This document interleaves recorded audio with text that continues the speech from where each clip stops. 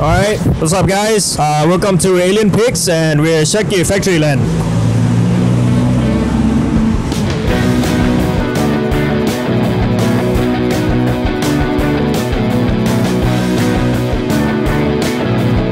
คนที่ชื่นชอบในเรื่องของการดีไซน์เรื่องของโลงศพครับก็เลยคิดว่าบัมเนี่ยน่าจะเหมาะกับซูบารุแล้วก็เมทัลิก้าก็เป็นศิลปินโปรดของซูบารุเหมือนกันคิดยังไงกับโลงศพอันนี้ ครับ สวัสดีครับ พวกเรา Chucky Factory Land ครับผม วันนี้เราจะมาทำแคมเปญ Alien Pick กันครับผม ผมโบนนะครับอาร์เยนร็อบเบน ผมซูบารุผมไทรอยครับเฟเดริโกราปานุยครับ เริ่มที่แผ่นแรกที่นะครับ recording เยี่ยมยอดยอดเยี่ยม record ที่ผมค่อนข้างชื่นชอบครับผมเพราะว่าซาวทุก track ในอัลบั้มชุดนี้ค่อนข้าง crisp ครับทั้งเสียงกลองกีตาร์เบสร้องทุกอย่างค่อนข้างแบบว่า high คุณภาพสุดๆครับ ชอบมาก ๆ ครับคลีนกริปเลยครับ ถ้าฟังแล้วผมนึกถึงแก้วครับ glass ใส แล้วชุดนี้มันจะมีเรียเลนบางเพลงครับผม ถ้าเป็นชุด OG เลยก็สุดยอดครับตำนานอยู่แล้วครับชุดนี้ ทุกคนก็แบ็กอัพก็เป็นเลเจนด์ครับผม These fragments of time.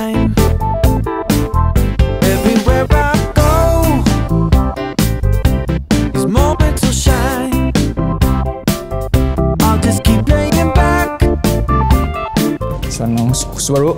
เอ่อเลือกเป็น Slipknot อัลบั้มแรกนะครับผม เป็นอัลบั้มที่ record แนวเมทัลได้ลงตัวกลมกล่อมนัวครับอัลบั้มนี้ก็มีพี่ Rick Rubin คอยนั่งพูดคุย ผมคิดว่าเป็นอัลบั้มเมทัลที่ติดอยู่ในใจผมมาตลอดกาลครับจำไม่ได้นะว่าชื่ออัลบั้มมันชื่ออะไรเป็น self-titled หรือเปล่า ไม่แน่ใจนะครับ แต่จำได้ว่า track แรกนี้มันจะเป็นเลขที่ยาวมากๆเลยครับ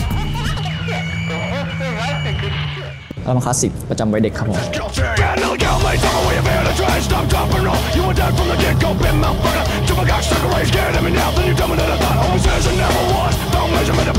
ก็อันนี้มีอีกอันหนึ่ง record ยอดเยี่ยม อันนี้ก็เป็น Tame Impala Innerspeaker ครับผม ชุดแรกครับผมชุดแรกครับก็เอ้ยไม่ใช่ชุดแรกอะชุดแรกมีไปสองเออชุดแรกเออชุดแรกก็อันนี้ก็พี่ Kevin Parker ก็ทุกคนก็รู้กันอยู่ครับว่า พี่เขาเอ่อตัวจริงนะครับเสียงจริง ก็อัดที่บ้านเป็นริมภูเขาก็ตาม feel ตามรูปเลยครับ ส่วนเพลงก็ตามรูปเหมือนกันครับ ทุกอย่างก็มันมัน blend ไปหมดครับตรงปกถึงแม้ว่าตอนนี้บ้านที่เขาอัดมันจะไฟไหม้ไปแล้วนะครับเขาก็ย้ายบ้านใหม่ก็น่าจะอัดได้ดีกว่าเดิมครับผมเ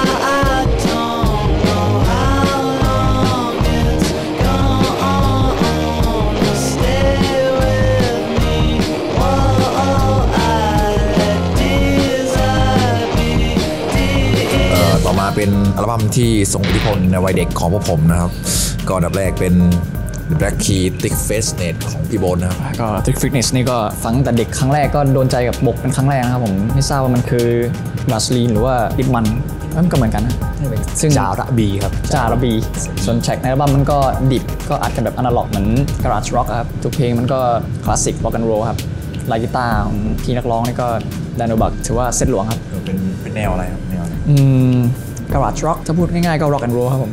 ผมให้เป็นแทร็ก cover แล้วนะครับ เป็นชื่อเพลงว่า Have Love with Travel ครับอันนี้ก็ถือว่าเอามา rearrange ใหม่ได้ตรงยุคแล้วก็หนักหน่วงครับ ชอบเสียงฟัสต้องไปลุยนะครับ Black Key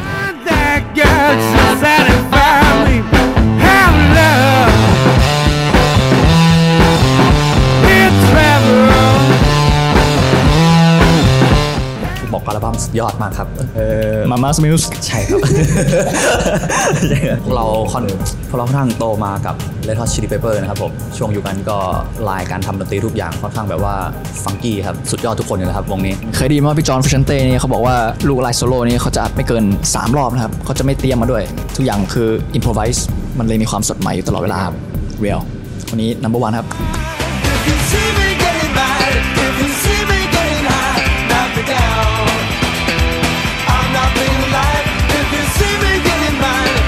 ผมผมแนะนำเป็นพี่ Nirvana Unplugged นะครับ in New York นะครับผมเออคงไม่ต้องพูดอะไรมากกับ session นี้นะ ทุกคนน่าจะเคยดูกันอย่างดี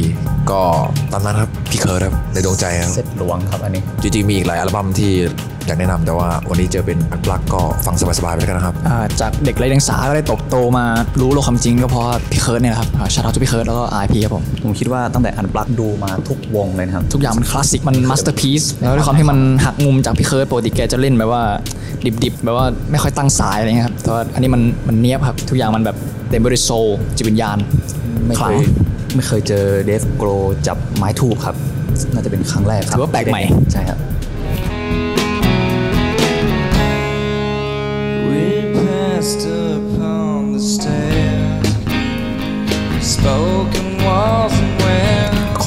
เป็นพี่ Solange นะครับเอ่ออัลบั้ม A Seat at the Table ครับจริงๆ ชอบอีกอัลบั้มมากกว่า แต่ว่าอันนี้ก็ถือว่าโหดพอๆกันเซตหลวงพอๆกัน เมื่อก่อนฟังแล้วไม่ชอบเพราะคิดว่ามันน่าจะลึกไปนิดครับ แต่ว่าตอนนี้ทุกอย่างพอเราโตขึ้นเราแบบเสพอะไรมากขึ้นมันกลมกล่อมครับหมายถึงเสพเพลงนะครับกลมกล่อมอยากให้ไปลองดูนะครับ เป็นศิลปินผู้หญิงที่น่าติดตามครับ คนนี้ใช่น้องสาวบียอนเซ่ไหมครับพี่ก้อง ใช่ครับเหมือนอัลบั้มนี้จะมีพี่ Blood Orange Produce อยู่บางเพลงนะ Caught below. Thought a new dress would make it better. I tried to work it away. But that just พี่ปรินซ์เอ่อพี่ปรินซ์นี่ ตั้งแต่เด็กผมไม่เคยชอบปรินซ์มาก่อนนะครับด้วยความที่ฟังแล้วมันรู้สึกมันโบราณนะครับด้วยความที่มัน 80 แต่พอโตขึ้นมาผมอินแนวยุค 80 80มากขึ้น มันก็รู้สึกว่าปรินซ์นี่คลาสสิกมากครับ ผมชอบมากกว่า MJ ด้วยนะครับ เพราะว่าการลวดลายบนเครื่องดนตรีของแกในทุกๆชิ้นมัน unique ครับ แล้วก็แก produce ทำเองทุกอย่างคลาสสิกครับ เออผมรัก MJ ครับ ผมค่อนข้างโตมากับ MJ นะครับตั้งแต่เด็กก่อนไปโรงเรียน ที่บ้านจะช่วงนั้นมีข่าวว่าไมเคิลแจ็คสันนี้ว่าเขากำลังจะจากโลกนี้ไปครับ ที่บ้านผมเลยไปซื้ออัลบั้มของเขามา 3 ชุดครับ แล้วก่อน 8 โมงผมจะต้องฟังไมเคิลแจ็คสันก่อนไปโรงเรียนทุกวันครับ ผมเลยค่อนข้างผูกพันกับไมเคิลแจ็คสันเอ้ยผมจำได้เอ่อที่โรงเรียนของเราช่วงที่โรงเรียนเอ้ยช่วงที่ไมเคิลแจ็คสันเสียชีวิตเนี่ยโรงเรียนเราเปิดเพลง We Are the World ทุกเช้าครับอันนี้เป็นอะไรที่กินใจมากๆ เลยครับ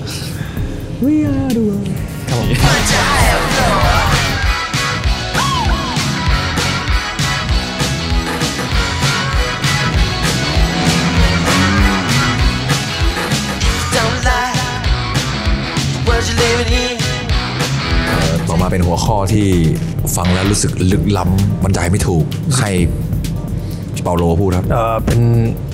ประสบการณ์แปลกประหลาดในการฟังดนตรีของผมเลยนะครับ กับเอ่อ Flying Lotus อันนี้เพลงแรกที่ผมรู้จัก ผมรู้จักจากเพลงที่มีฟีดกับเอ่อพี่เคนดริกนะครับ ซึ่งก็ Amazing มากว่าแกแรปลงไปในเอ่อดนตรีแบบนี้ได้ยังไงหลังจากนั้นก็ได้แผ่ขยายไปฟังอันอื่นก็ได้รู้สึกว่า DMT มันก็คงจะประมาณนี้ครับ ลึกล้ำเหมือนท่าบอกครับเหมันหน้าปกครับ They can talk. Conversations on contemplate to my dark thoughts. Looking down on my soul now. Tell me I'm in control now. Tell me I can live long and I can live wrong and I can live right and I can sing song and I can unite with you that I love, you that I like. Look at my life and tell me I fight. Is that final destination? Is that fancy ต่อมาเรามา information? ที่เอ่อรูปสวย โดยไม่ต้องคำนึงถึงอะไรเลย ให้พิติแล้วกันครับอันนี้ เป็นพี่เจมส์มิลเลนแนร์นะครับผมเขาน่าจะเป็นมหาเศรษฐีสักคนหนึ่งครับ อันนี้น่าจะเป็นสัตว์เลี้ยงในบ้านเขาแล้วผมไม่ชัวร์เหมือนกัน แต่ว่า ปกเขาสุดยอดมากครับ อันนี้เป็นด้านหน้านะครับผม แต่ถ้าอยากดูด้านหลังก็ได้เหมือนกันครับ ก็มีมีการโชว์อะไรนิดหน่อยครับผมด้านหลังก็น่าสนใจครับ ใช่ครับสองไซส์ครับผมสองไซส์ ไม่ชัวร์ว่าเพลงด้านในมันจะประมาณไหนนะครับ แต่ดูจากรูปน่าจะเอาเรื่องเลยครับ อันนี้ ยังไงก็ใครเคยฟังหรือว่าชอบก็บอกกันได้ครับผมเราดูพี่มิเดนแน่ผมพี่เจมส์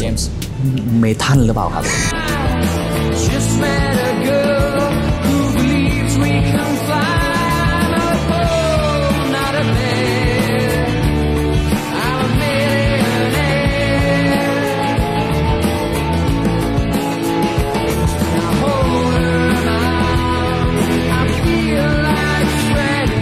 เป็นให้ลูกฟังนะครับ จะแนะนำอันไหนให้ลูกฟังดีถ้ามีลูกให้พี่เกิดบุตรมาสักคนหนึ่งนะครับ Jesus is King ครับ ก็ตามชื่ออัลบั้มเลยนะครับผมผมคิดว่าลูกผมก็น่าจะเกิดการเคารพพระเจ้ามากขึ้น และกลัวในบาปกรรมครับ ก็น่าจะทำแต่คุณงามความดีครับ ผมไม่ลักขโมยสิ่งของไม่ไปลักดินสอปากกาของเพื่อนนะครับ ตอนเรียนผมคิดว่าน่าจะดีมากๆครับ ถ้าฟังจบ อันนี้เป็นอัลบั้มที่ผมชอบเลยครับอาจจะตัดเรื่องพฤติกรรมของพี่คันเยไปเอาเสพแค่ผลงานครับ ก็ถือว่าเป็นหนึ่งบทสวดที่ทำออกมาได้น่าสนใจครับ moral บอมนี้เสือ คิดว่าฟังเสร็จน่าจะต้องเข้าโบสถ์ทุกๆวันศุกร์ตอน4โมง45 นาทีครับ Like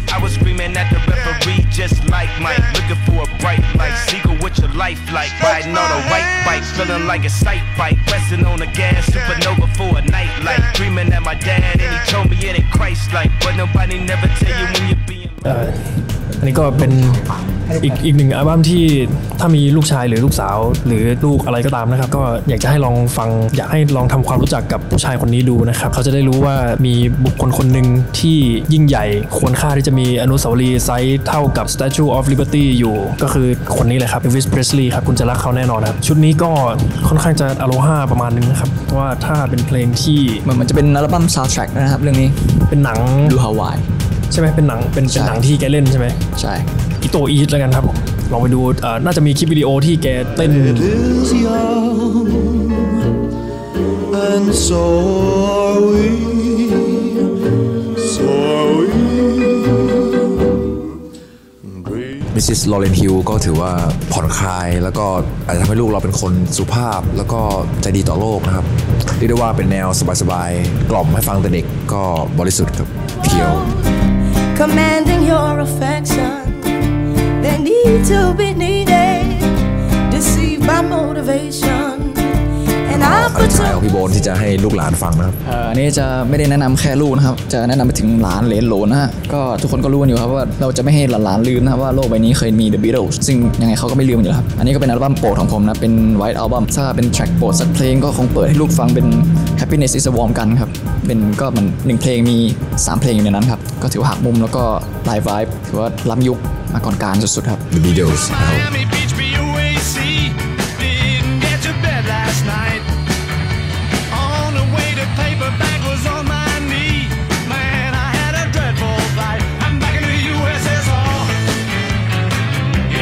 ต่อมาเป็นแผ่นอัลบั้ม Underrated นะครับผมอ่ารอบนี้ไม่พูดถึงไม่ได้นะครับสำหรับผมแล้วผมคิดว่าเพื่อนๆในวงก็น่าจะคิดเหมือนกัน ก็ชัน Quality Base c o t i o n Casino ของ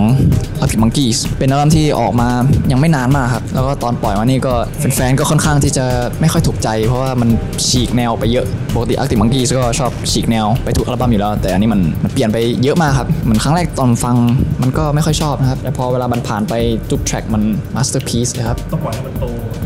ต้องปล่อยมันโตในหัวใจครับ อันนี้ก็ถือว่าเยี่ยมครับมาผมขอแนะนำเป็น The Ultra Cheese ครับแทร็กสุดท้ายของอัลบั้มสุดยอดครับแทร็กนี้เหมือนมันฟังเอลวิสของยุคนี้ครับ เป็นความรู้สึกแนะนำครับ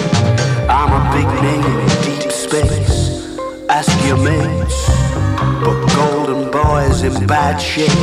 I found out the hard way that here ain't no place for dolls like you and me. Everybody's on a barge. เอ่อเราจะพูดถึงอัลบั้มฟังในตอนออกกำลังกาย หรือว่ายกเวทพวกเราเนี่ยชื่นชอบในการยกเวทเป็นพิเศษครับ เพราะฉะนั้นดนตรีเป็นสิ่งสำคัญที่ทำให้เรามีแรงมากขึ้นในการเพิ่มน้ำหนักครั้งละ 5 กิโล อันนี้เป็น Led Zeppelin ชุด 5 ครับผมเออสาเหตุที่เราชอบฟังตอนออกกำลังกาย เพราะว่าพี่ Jimmy Page นะครับผมชอบเล่นกีตาร์2คอครับเราต้องทำการเบิ้ลดัมเบลครับเวลายกเพราะว่าพี่ Jimmy Page แกเบิ้ลคอกีตาร์ครับถ้าไม่เบิ้ลกลัวว่าพี่เขาจะโกรธครับผมเราก็ต้องทำตามที่พี่เขาเรียกร้องนะครับ Led Zeppelin เนี่ยเอาจริงผมว่าโหดทุกชุดเลยแต่ว่าชุดที่ผมค่อนข้างชื่นชอบที่สุดจะเป็นชุดแรกครับชุดเรือดำน้ำลอยได้ครับชอบทุก track เลยครับ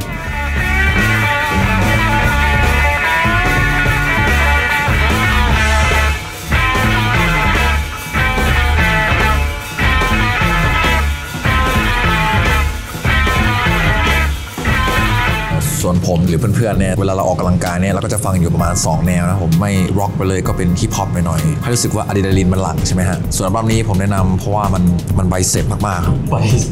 Time and Space ของ Turnstile นะครับสุดยอดพังก์ของยุคนี้ พี่กองนี่คือฟังทุกอัลบั้มเวลาเล่นหน้าอกอะไรอย่างเงี้ยครับให้พี่กองพูดเอ่อผมไม่ชอบอัลบั้มล่าสุดของเขาเป็นพิเศษนะครับ วงนี้นี่ถือว่าร่วมสมัยครับ เป็นวงร็อกที่มีความพังก์มีความร็อกแล้วก็ทันสมัยมากๆ ไม่ตกยุคซึ่งก็น่าจับตามองครับ ฟังทุกครั้งก็เหมือนอยากจะกล้ามใหญ่ให้มากกว่านี้ อยากแข็งแรงให้มากกว่านี้ เพื่อที่จะสับคอร์ดร็อกที่จะสับสัก3-4ชั่วโมงแล้วยังไหวอยู่ครับ Turnstile